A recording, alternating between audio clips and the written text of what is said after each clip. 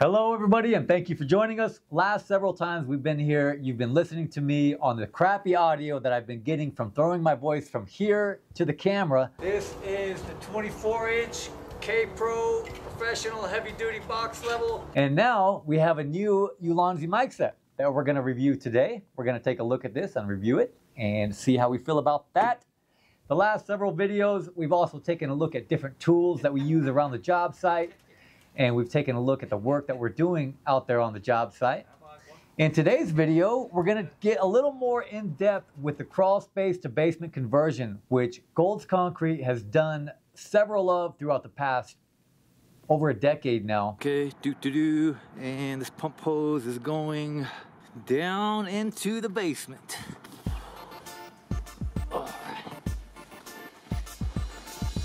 How's it going? So far, so good. Got Tim pulling the pump hose this way. Gold's Concrete has done several crawl space to basement conversions over the past over a decade right here in the Denver area. And throughout that time, we've accumulated a lot of information and experience in doing these crawl space to basement conversions. So a lot of people have a question about their home and the feasibility of putting a basement beneath their home. So they want to know, you know, can this be done? What would be entailed in doing it? How much would it cost? How could I find out if this could be done in concrete terms for spending the least amount of money possible? That, I believe, is what is on most people's mind when they go into this. When they start looking at it in the first place is, before I put any money at all into this, can it be done? Should I spend any amount of time looking at it at all? Or should I just forget about this whole thing and move on?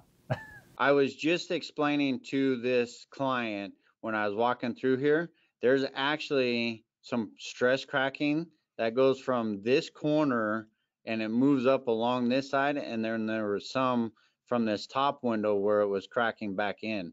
So these are things that we're looking at when we're walking the exterior of a building. We did this webinar with an online college community that they put together, uh, a course that they put together for students to acquire credits to get their degree in architecture or engineering. But wait, there's more. From the very beginning, it talks about applications for adding basements to existing buildings. So, for example, what would be the purpose of putting a basement beneath your beneath your home, probably for additional living space? Assessing the feasibility of adding a basement to an existing building. You can find out more about how to assess the building structure, how to assess the building site. You can find out more about complying with codes and standards. We take a look at the process of designing a basement for an existing building. We explore the area, we talk about and explore the area around your home and look at the best place for an access point to get into to begin excavation on that crawl space. We talk about the new basement construction. So putting in the underpinning, the new basement walls and the new footers that will go in beneath the old foundation and digging down the new floor, placing a new floor. So the entire construction of the whole structure that goes in beneath the building. And last but not least, we talk about integrating the old And last but not least, we talk about integrating the basement with the new, with the existing structure. Integrating the basement with the existing structure. And last, and last but not least, we talk about integrating the basement with the existing structure.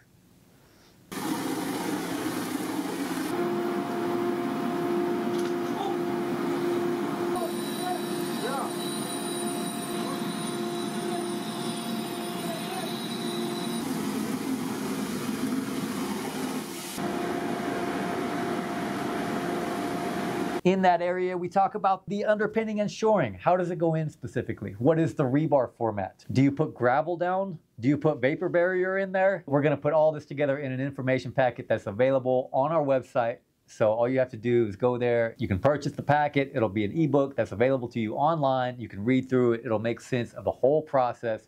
If you've ever had a question about your basement or your crawl space area and turning that into a basement, if that's even a possibility for you, with your budget and your structure and the things, your particular situation, this will be the best place for you to go to find out more information on that. But wait, there's more.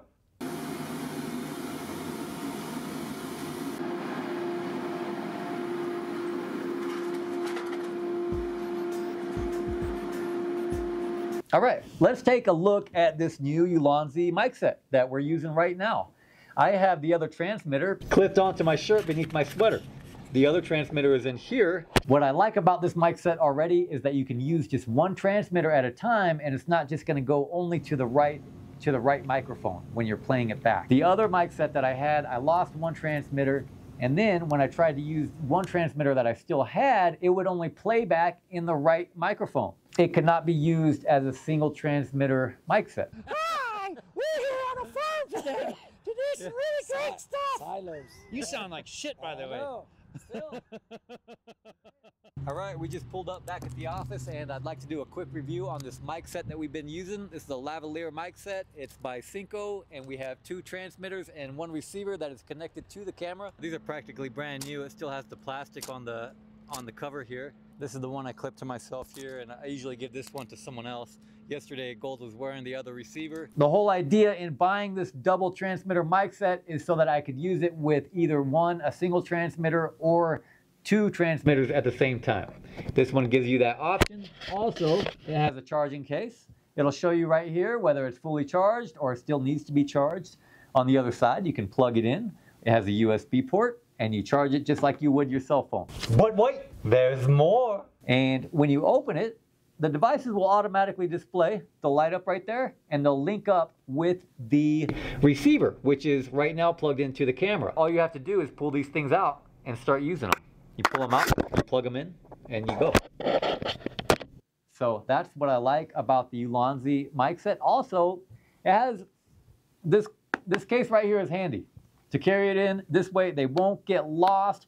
My other mic set got lost because the case was not very good. You had to zip it and unzip it. They didn't fit in there right. So I would end up just throwing them in my camera bag loose or shoving them in my pocket and without a secure place for your things, they will get lost. This costed a little over a hundred bucks. It came out a few years ago, so it's not brand new on the market, and so far it's working great. That's our take on the Ulanzi mic set. Let us know if you know of a better one, and if not, well, check out this one and let us know your thoughts.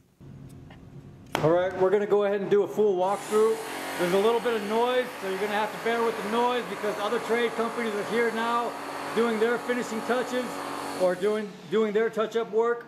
This is the building, or this is the area that we originally came in at, where we put the conveyor belt in, and there was an existing basement room right here where we're looking. We opened that room up, and we dug into the area where we're standing right now. JC, what kind of shovel is that you got there? It's a missile shovel. Used to be nice and round. Yeah. Now it's inverted, which is not as good, but still works good. What brand is it? Uh, Razor Man. Okay. Used to be a lifetime warranty, but now no more. Oh, He said about he said, oh, they did away with the lifetime warranty? Yep. That was probably an old coal mine pit or something that came in here. Shotcrete this across there, and all this will be supported back there. Then it'll just be a nice little clean room in here. I think all that brick is staying. I'm not positive. We're taking that out or not to get into that room. Oh, 15. 15, 13 by 15. That's this area right here.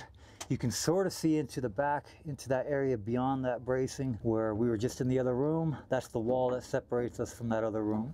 You watch this guy with a shovel, man. He's a beast. We're gonna go ahead and do a review right now on this shovel while we're here. You see, this is actually JC's shovel. We got him in the background digging out this crawl space right now as we speak. But wait, there's more. We'll turn around and get a better look at this area once we get down to the other end of the hall. Let's go ahead and walk down there. You see, this is where the gentleman is doing some work right now. So let's just walk right by here. Now, this area all in here was an existing basement. We lowered the floor in this area three feet. Okay, now coming back in here was a corridor that led up to the upper area, the upper level of the house. This is where the stairwell came down and it sat down right here and the corridor opened up to the rest of the basement. Now looking back, you can see that area that we have opened up. Let's get a focus there. Okay. Now moving this way into this area here and back that way was all crawl space. So let's go ahead and take a walk back here and look at what we've done. Now right here, this is where the foundation, where the old foundation ended. So there was a huge concrete wall right here that we had to cut through to continue this way. The questions we'll address in this vlog are, what is a crawl space to basement conversion? Once we cut through that concrete wall, this was all crawl space in here, up to here. So we had to dig all this down to what you see right now.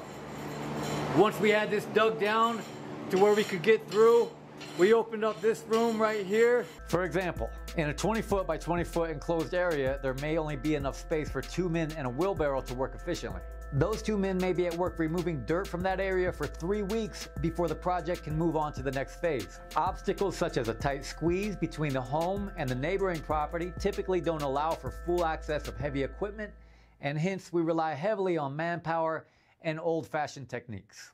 Invariables such as a giant boulder or an old foundation unearthed from beneath the soil are common and can also cause delays. Gold's Concrete is typically on a basement dig out for three to four months. That means about two to six guys will be on the project at any given time during a normal workday for about three to four months. Where you see JC working on the floor, we dug this whole area down from a crawl space and we poured new footers, new underpinning down beneath the old foundation. Let me just point this out right here so you can see what we're looking at. This is the old foundation, okay? This is the new foundation. This is what went in beneath. So we dug all this area down and opened it up so that we could pour the new footers under here and the new foundation wall. That's what all this is. If we pan around here, you're gonna see where these areas have been sectioned out by A and B sections that we dug down